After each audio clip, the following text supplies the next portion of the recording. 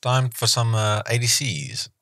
So ADC stands for analog to digital conversion, and it sounds a bit complicated at first, but it's really not that bad once you do it a few times. And when you've done it a few times, like I have, it's it really does just boil down to setting the correct values in the correct three registers. And that's about it. The most complicated part. Now, what we're going to do is I'm you could first you just choose which pin you actually want to take an ADC reading from. As you can see, I just chose RB1 because it, it was just available.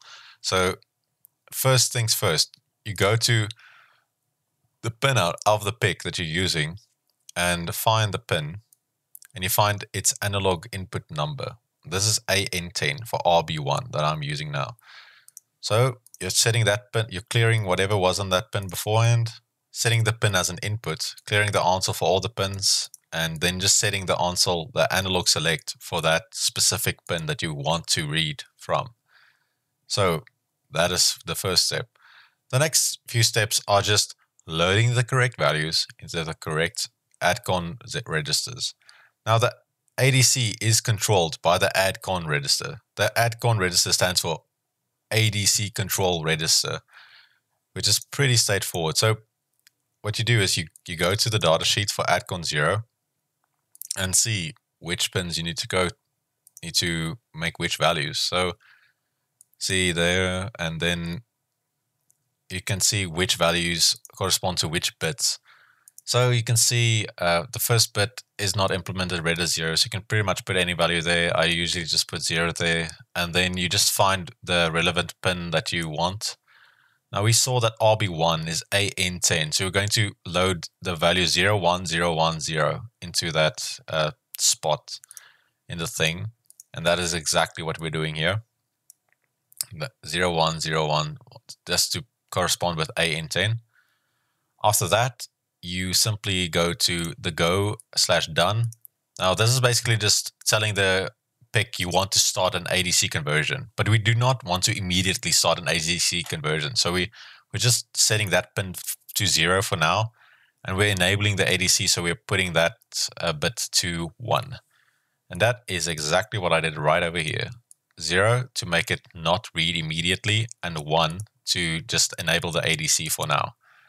Now, ADCON 1 is basically just a reference voltage register because for it to convert the, uh, the voltage that you're giving it, it has to use some sort of reference voltage.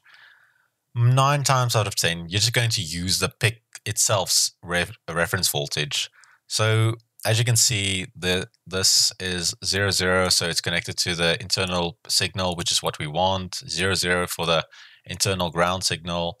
So and this isn't really relevant in this case. This is not even implemented. So for all intents and purposes, just to simplify everything, just clear if that register completely. Just make it all zeros. Then your reference voltage will be sorted out completely. Then after this, using the ADCON2 register. Now the ADCON2 register, if you go look it up in the datasheet, the first part is the left justified or right justified bit. Now this might not seem significant at first because it's just moving the register left or right. It's just because it, when when you doing an ADC um, conversion, it is basically uh, storing whatever result into these two registers: the address high register for the most significant bits, and the address low register for the least significant eight bits. But when you do uh, the ADC is effectively 10 bits. The PIC itself ca- is capable of doing a 10 bit conversion. So if you spread 5 volts, the reference voltage, over that range, 2 to the power of 10, then you effectively have a resolution of 4.88 millivolts per count. So for one decimal, for one binary count on the ADC to go one up or one down, it only needs 4.88. So it can tell the difference between two voltages within an accuracy of 4.88 millivolts. That's if you use the 10 bit reading. For at 8 bit reading, it's dividing the reference voltage by 2 to the power of 8 because we're using 8 bits. And then we effectively can detect a difference of up to 19.53 milli- uh, down to 19.53 millivolts per count. So if we have two very similar voltages, they can be tell, told apart by this amount of difference. So obviously this is less than this because obviously we have more bits to represent this than we do that. But you might think that this is better, more is better, but most of the time you won't be able to measure precise enough to actually make full use of this. For example, if your signal you're measuring has even a tiny bit of noise, like then this 4.883, it's not going to make much of a difference. And you want to, most of the time, you want to ignore the noise. So most of the time, I just use this.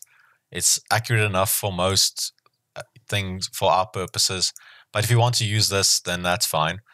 So anyway, back to the actual justification. Now, the way justification has any bearing on this is let's say you want a 10 bit conversion. Then it's going to store the eight least significant bits of the conversion in here and the two most significant bits in the top register.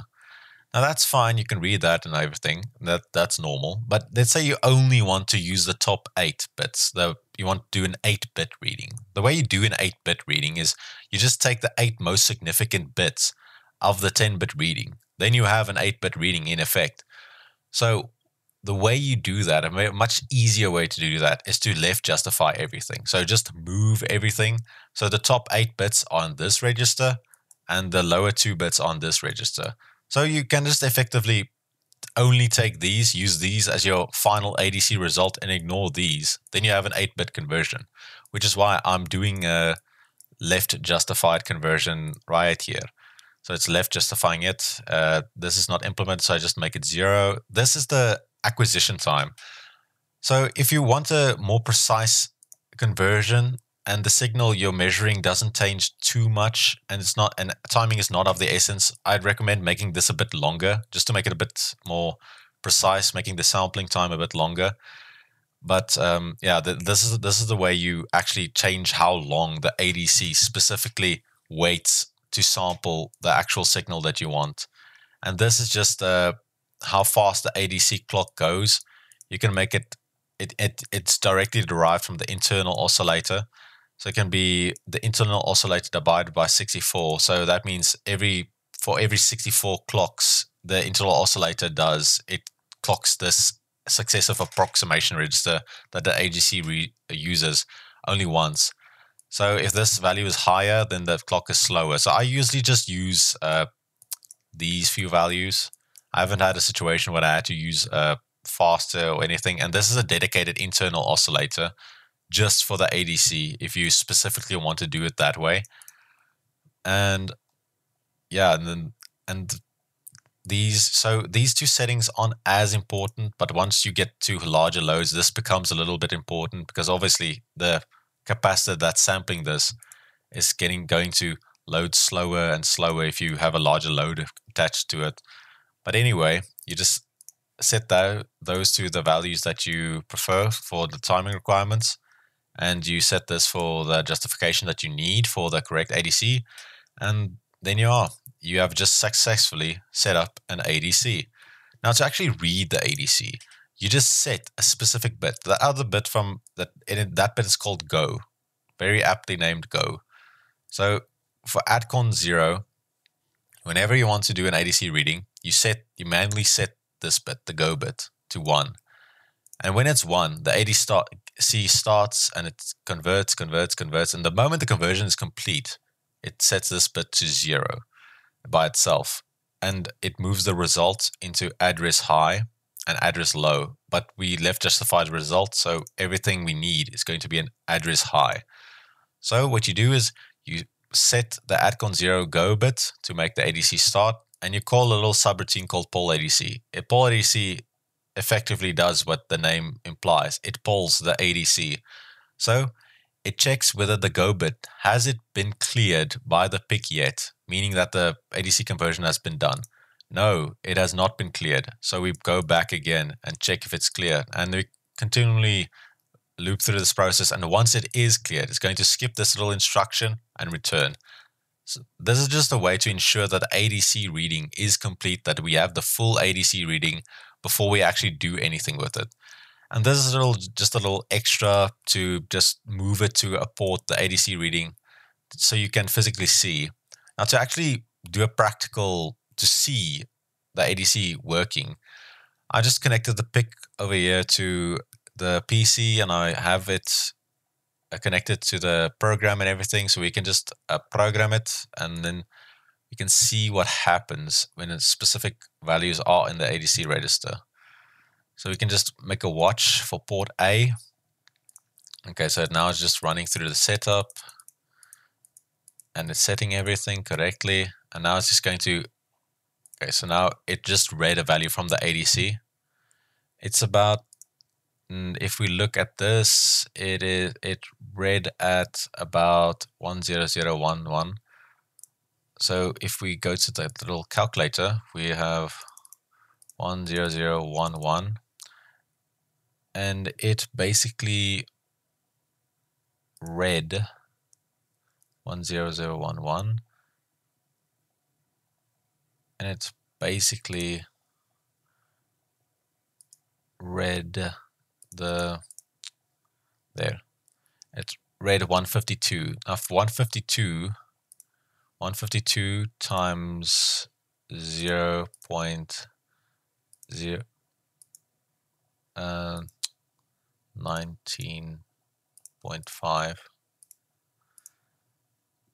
uh, it's it's it's about 2.88 volts. If you really it's a very rough estimation if you're timing it with uh, a which is basically what I got here I, I got I, I just hooked up about 2.9 volts on the potentiometer that it just read and yeah, then it just reads it over and over again and moves it to port A continuously. So you can see it moves it, and then port A is whatever value you want. So it's 152, and then, yes, and that is how you do an ADC reading.